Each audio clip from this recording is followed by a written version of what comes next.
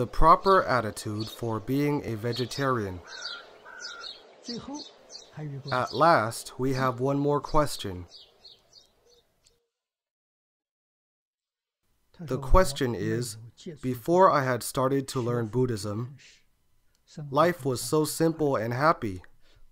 But after I came into contact with Buddhist practitioners, I noticed that interacting with them has made my life become too complicated. There are even rules for what pots and pans cannot be touched. This cannot be eaten, that does not conform to Buddhist regulations, so now I am hesitating on whether or not to learn Buddhism. This beginner in Buddhism has this question. Laity Hu Xiaolin has spoken about this very clearly. When he first started to learn Buddhism, his whole family was all terrified. This cannot be touched, that cannot be touched, saying that his family is all creating bad karma, all leading to the retribution of the three evil paths. He scared his mother and father. They regarded him as a wicked person. When they heard that he was coming, the dishes on the table with fish, meat, quickly hide it. Don't let him see it. It was a coincidental situation. He came to Hong Kong and saw my mother's photograph.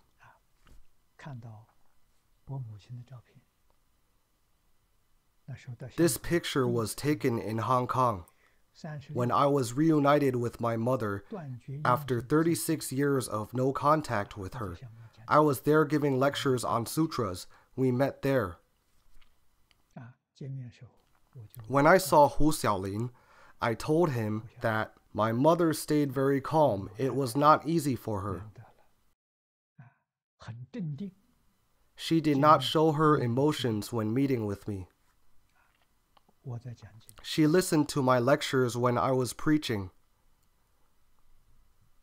After listening, she looked very peaceful. I said it was not easy for her at all. Staying in the dojo, I asked her, What would you like to eat? She wanted to eat fish, so I asked the kitchen volunteers to buy fish. Every meal they served fish to her. She ate it while seeing all of us eat vegetarian food. She stayed for a week. After returning to Shanghai, she became vegetarian herself. If we want her to have the idea from her own heart, we cannot nag her. After a life of hardships, she just wants to eat a little bit of fish. If she cannot get it, how would that be okay? Hu Xiaolin heard this. He then came to a realization. Oh, now I get it, said Hu. I said, when you go home, no matter what, do not restrict your parents again. Whatever they want to eat, give it to them. Since then, their relationship has become spectacularly good. His father and mother are now very grateful towards Buddhism. They never thought learning Buddhism is so good. Learning the traditional culture is so good. Among their old friends, they have spread the word. No obstacles. Where would there be any obstacles? Buddhism allows exceptions to precepts for special conditions, especially regarding diet. But we must understand why does Buddha tell you not to eat them? Eating meat is killing. These animals are not willingly sacrificing themselves for us. If we stopped eating meat, then other people would stop killing animals, and even if they continue, we will not be affected by this karma. If we eat meat, the killing karma that those people create must be shared by us. If we understand this principle, we would not be willing to eat meat anymore. Vegetarian. Vegetarian is great. I learned Buddhism for maybe half a year, and then I became vegetarian. Ah, Having read a few times the Kshitigarbha Sutra, I was determined to become vegetarian. Ah, Before I had started to learn Buddhism when I was young, around the age of 17, 18, 19, I hunted for three years having killed many lives, I truly beg for repentance.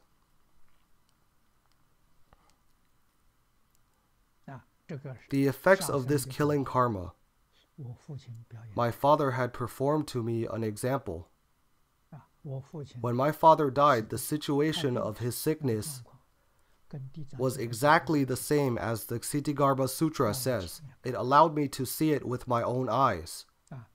I originally did not know. Why was his death so miserable, died so miserably?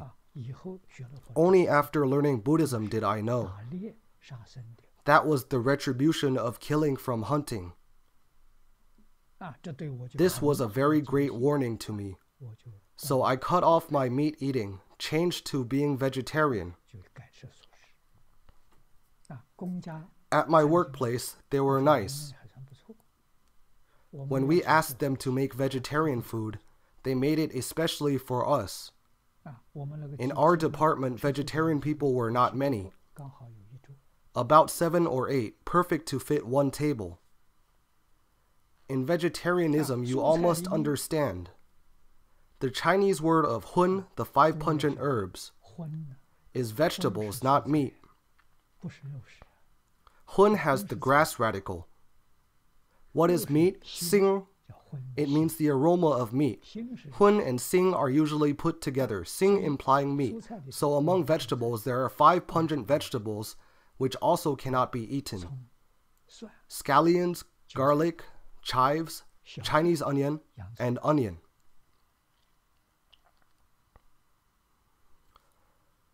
Why these five kinds have a bad nature? By eating them raw, it is easy to create heat in your liver, having temper tantrums.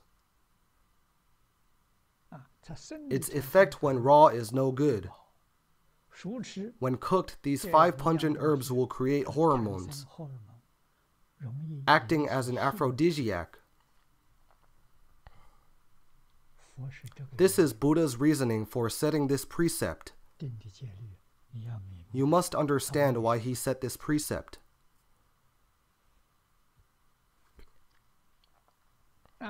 So these items, if we use as spices, seasoning, it is no problem. They can all be used. Why? It is only a small amount. It would not have an effect. So it can be used. Some people have completely stopped using them. If completely not using them, vegetarians will feel that the food they are eating has no flavor at all. They would no longer want to be vegetarian. When you use as seasoning, vegetarian food is very delicious. They can all be used, especially for laity, so you have to understand the principle. Have to understand Buddha's reasoning for setting this precept and how you should implement it. This is knowing, understanding the principle. However, during times of sickness, all can be used. If the doctor gives a prescription, using these things as medicine, all can be used. Even animals.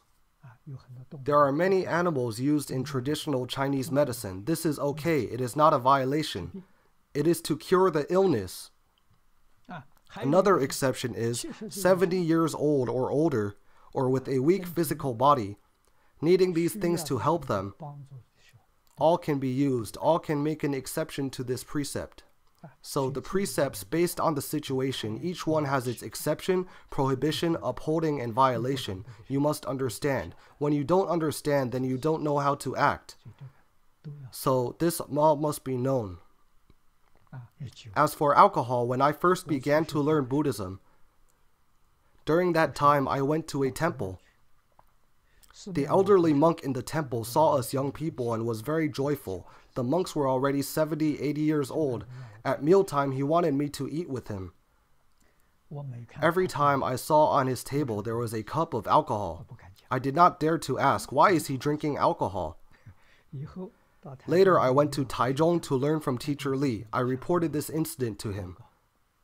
Teacher Li said this was an exception. For people older than 70, alcohol can help the blood circulation. This usage is acceptable. We thus understand. Seeing the elderly monk drink one cup with every meal, just one small cup, one cup of alcohol. When you don't understand, you will have suspicion.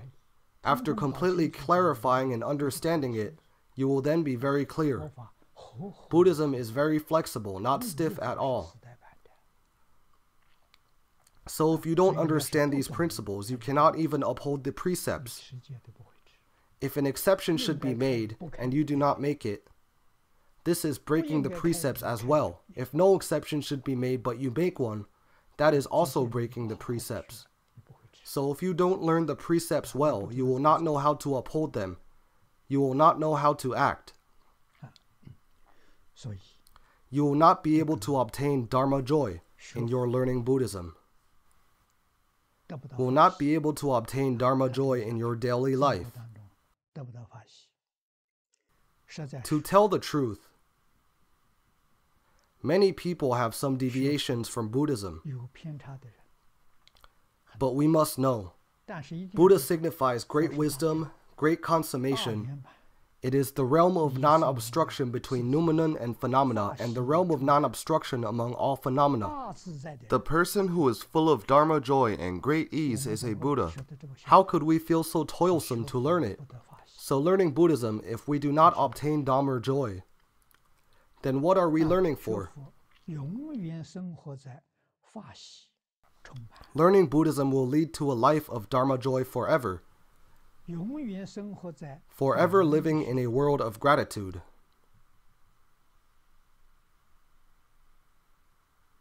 If learning Buddhism was so full of hardship, I would have quit long ago.